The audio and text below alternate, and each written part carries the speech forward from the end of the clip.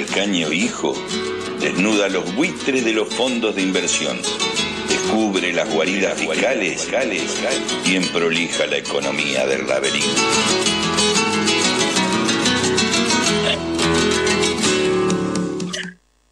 Desde finales del año pasado, la Argentina ha entrado en una fuerte recesión económica.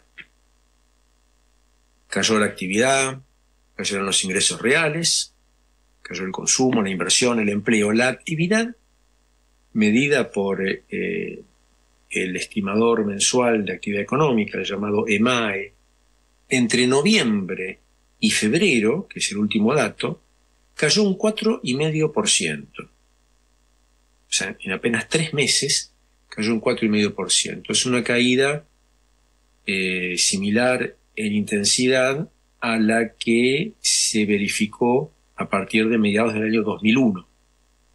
El tercero cuarto trimestre del 2001 y el primero del 2002 la caída fue del 5% cada trimestre. Estamos en un pendiente similar. En ese mismo trimestre, entre eh, noviembre y febrero, los salarios reales cayeron un 16%. Ya venían mal de Macri. Las jubilaciones medias disminuyeron un 29% entre diciembre y marzo, siempre en términos reales. En febrero, la caída de ventas en supermercados fue un 11,4% inferior a las eh, ventas de febrero del año anterior, en pesos constantes. En los centros de compra la caída fue del 18,4% en un año. Datos más puntuales que tenemos para marzo muestran que la nafta vendida cayó, el volumen cayó un 10%, el cemento un 43%, la venta de automotores cayó un 21%, el consumo de energía eléctrica un 15%, el gasoil un 14% respecto del año anterior. El consumo, en pocas palabras, se ha derrumbado. La inversión, todavía no tenemos datos oficiales para el año 2024, pero las consultoras privadas estiman que para marzo la inversión se contrajo un 22% respecto de marzo del año 2023. Y es lógico, porque si no hay consumo suficiente, las empresas no venden, si no venden, no tienen funcionando sus máquinas eh, al 100%, y vemos que la capacidad instalada en la industria el mes de febrero fue de apenas 57,6%, o sea, están andando casi literalmente a media máquina. Y eh, en esa situación no hay ninguna razón para que el sector privado invierta si no hay demanda para emplear las máquinas que ya están existentes, ¿no? que ya tienen las fábricas, ¿para qué agregarían más máquinas? ¿Para qué comprarían máquinas nuevas? Esto en el sector privado, pero además se paralizó la inversión pública en cosas tan importantes como eh, la infraestructura eh, vial del país, las represas hidroeléctricas, la inversión en energía nuclear. No terminar el proyecto Carem es un verdadero crimen. Todo esto se refleja en datos del empleo. Eh, todavía también son, son datos no oficiales los que se tienen, pero son cientos de miles de pérdidas de puestos de trabajo, en particular en la construcción, en el sector público, y ahora ya empiezan, después de las suspensiones, los despidos en el resto del sector privado. ¿Cómo hemos llegado a esta situación económica? Porque antes de las elecciones, en el eh, análisis que hizo el Fondo Monetario Internacional, en la revisión que hace cada tres meses de cómo marcha la economía de la Argentina, ¿no? cómo marcha la economía de los países que tienen un plan con ellos, el Fondo Monetario Internacional anticipaba que el año 2024 Argentina iba a crecer un 2,8%. Iba a crecer un 3,3% en 2025 y preveía una caída de la inflación. ¿Cómo pasamos de una anticipación hace pocos meses, que íbamos a crecer casi 3% este año, a una caída que se proyecta no menor de 3%, de acuerdo con la OCDE, y yo calculo que va a ser mayor, la caída de este año va a ser por lo menos del 4%. Técnicamente, cuando Fernández le entrega el gobierno a Mila y Argentina ni siquiera estaba en recesión. Digo técnicamente porque la definición entre los economistas que, que seguimos la coyuntura, eh, la definición de una recesión es cuando hay dos trimestres seguidos de caída. Y el año 2023 tuvimos primer trimestre de crecimiento, segundo trimestre de caída, tercer trimestre de crecimiento, cuarto trimestre caída. Entonces, en ese momento no había formalmente una recesión. Ahora sí vamos a entrar a una recesión porque el primer trimestre tenemos derrumbe, no caída. Eh, los ingresos eh, de, la población eh, del último año del gobierno de Fernández, bueno, eran bajos, eran insatisfactorios, sobre todo porque habían caído durante el gobierno de Macri.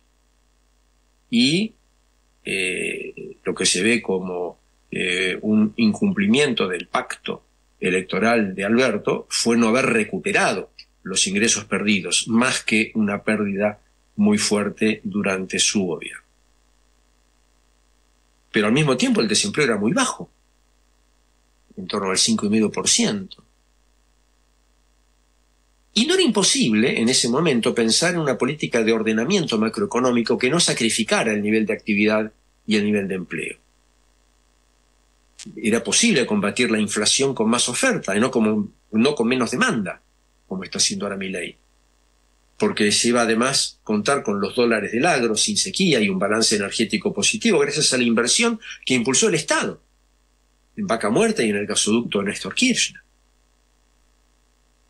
Era también posible combatir la inflación y ordenar la macroeconomía reduciendo el déficit fiscal, pero no de cualquier manera, reducirlo aumentando la recaudación, por ejemplo, eliminando las exenciones impositivas, que son cinco puntos del producto, racionalizando el gasto, sin amputarlo de manera salvaje. Pero el nuevo gobierno tomó un camino muy diferente y agredió los ingresos de las familias argentinas con una mega devaluación, liberalización, liberalización generalizada de precios y un recorte masivo e indiscriminado del gasto público. Y las consecuencias son las que mencionamos caída de la producción, del empleo, del salario, del consumo, de la inversión, con el agravante que en vez de disminuir la inflación, la aceleró en estos primeros meses y la aceleró mucho. Estamos entonces entrando en una depresión económica que era evitable, no como la recesión, la depresión breve pero profunda de la pandemia, no es el derrumbe de la tablita de Martínez de Oz, ni eh, el resultado de la caída de la convertibilidad de Menem y de, la Rúa. No es el desplome del modelo endeudador de Macri. En todos esos casos no había forma de evitar una fuerte recesión o una depresión económica. Este es el resultado de una política deliberada que considera que la inflación va a ser derrotada, después de haberla alimentado, mediante la depresión de la demanda popular. Y también con el congelamiento del tipo de cambio, con lo cual se mata el consumo interno, o se lo, para ser menos drástico, se lo castiga fuertemente, pero también eh, se eh, pierde posibilidad de reemplazarlo con el mercado externo, debido a que la Argentina ahora en dólares está cara. El problema también es que aún suponiendo que con esta eh, política eh, brutal la inflación finalmente disminuya, recordemos que por ahora sigue por encima del promedio de enero-noviembre del año 2023, eh, aún suponiendo que la inflación disminuya, el remedio puede ser peor que la enfermedad. El remedio viene a ser la política de ajuste de shock y la enfermedad es la inflación, porque la inflación es un problema, sin duda. ¿Pero por qué es un problema? Bueno, porque tiene consecuencias nefastas en el poder de compra de la población, con el consiguiente aumento de la pobreza. La inflación también es nefasta en la medida en que eh, eh, genera más incertidumbre y esta lleva a una caída de la inversión. Pero, ¿qué sentido tiene bajar la inflación destruyendo el poder de compra de la población y destruyendo la inversión? O sea, yo quiero bajar la inflación porque afecta el poder de compra de la población y, afecta la, la, inversión. ¿Y cómo hago para bajarla? Afecto el poder de compra de la población y de la inversión. Me estoy mordiendo la cola. Bueno, ¿qué responde el gobierno? ¿Qué responde Javier Milei en persona? Bueno, dice que no, no, no. Una vez lograda la estabilidad de precios, por más de que sea muy costosa, la economía va a experimentar una recuperación muy rápida. Dijo Milei. ¿Saben cómo va a crecer la economía? Lo dijo hace una semana en eh, la Fundación Libertad. La economía, ¿cómo va a crecer? Va a subir como pedo de buzo. Ah, la metáfora además de ser de mal gusto, aunque tal vez deberíamos decir de mal olor, eh, es desacertada porque los gases que podría emitir un buzo pueden quedar atrapados en su escafandra con la consiguiente incomodidad. Eh, más que decir pedo de buzo, lo que eh, decimos los economistas al referirnos a un crecimiento muy fuerte después de una caída, es una recuperación en forma de B corta. Primero una caída abrupta, la primera parte de la B, de la letra, ¿no? que toca fondo y de manera inmediata es seguida por una recuperación tan rápida como la caída. Hay otros que dicen, siendo menos optimistas, eh, que va a haber una recuperación, sí, pero no como V corta, sino que como la pipa de Nike. Este, primero una caída abrupta y luego una recuperación eh, con una pendiente mucho más suave. Entonces habría una asimetría. Caída fuerte, recuperación lenta. Otra metáfora es la recuperación en la forma de U, es decir, que tenemos una caída, luego un periodo de depresión y recién después una recuperación. O sea, la caída eh, eh, la, recuperación no sería tan rápida como en la B corta o en la pipa de Nike, sino que eh, existiría pero después de una depresión. Ahora, también existe la posibilidad de una evolución en forma de L, es decir, una caída seguida de un estancamiento en niveles deprimidos. La, pata de la L para abajo y luego nos quedamos ahí en un nivel bajo. Eh, y bueno, está también la evolución en forma de I, I mayúscula, es una caída que no se detiene. ¿Por qué ley dice lo que dice? ¿En qué se basa? En realidad, siempre dijo que esto iba a ser costoso, pero que iba a haber una recuperación muy rápida, pero fue cambiando las razones. Primero dijo que eh, iba a recuperarse la economía apenas se pudiera levantar el cepo.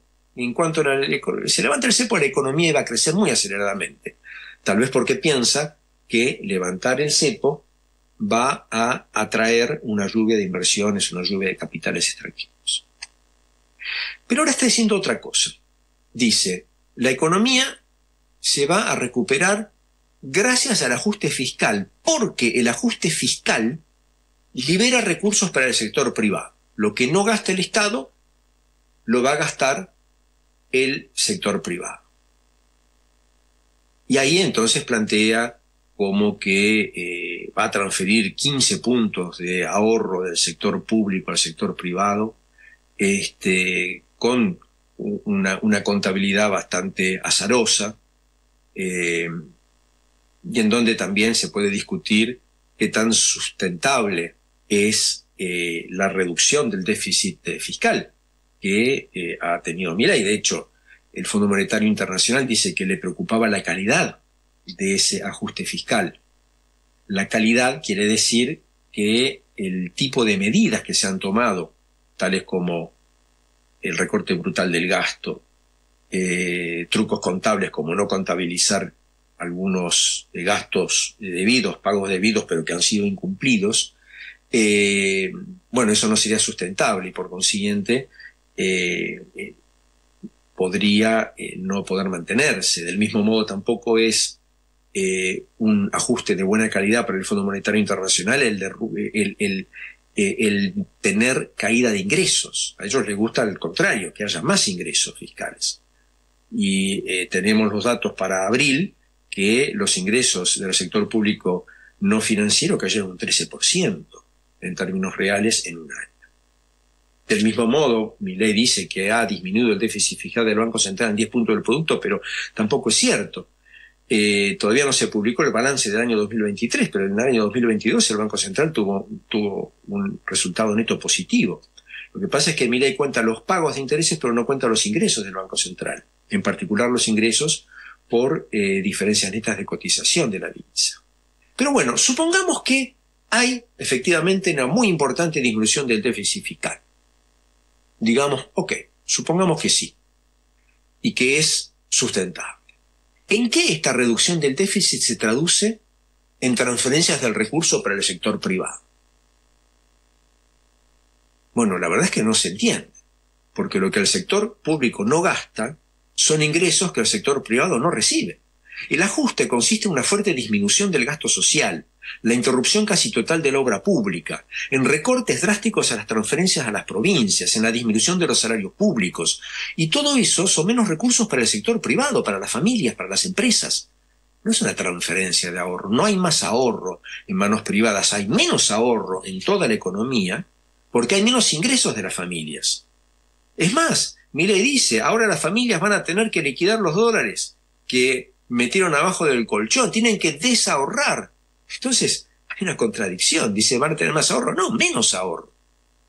También esta recesión, esta depresión, son menos ganancias para la mayoría de las empresas. Las pymes en, en particular, que venden menos, y eso significa menos ahorro para las empresas. Con la reducción del empleo y los ingresos fiscales hace un círculo vicioso.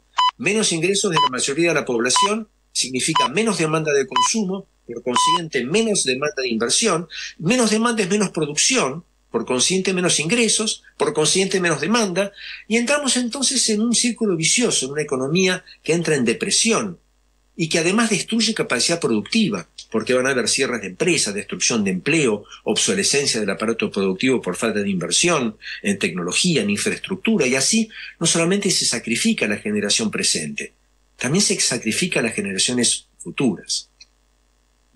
Vamos entonces a una situación de tipo letra L, una caída sin una recuperación, porque para salir se necesitan políticas contracíclicas con aumento del gasto público, que es lo que hicieron todas las economías desarrolladas y emergentes desde 1930 y ahora en la crisis de 2008 para enfrentar, también para enfrentar la pandemia. Y eso es lo que no quiere hacer mi ley, porque para él toda política keynesiana es socialista, y eso es mala palabra. Y entonces no lo va a hacer aunque eso deje a la economía en el fondo del mar, como nuestro infeliz buzo. Continuará.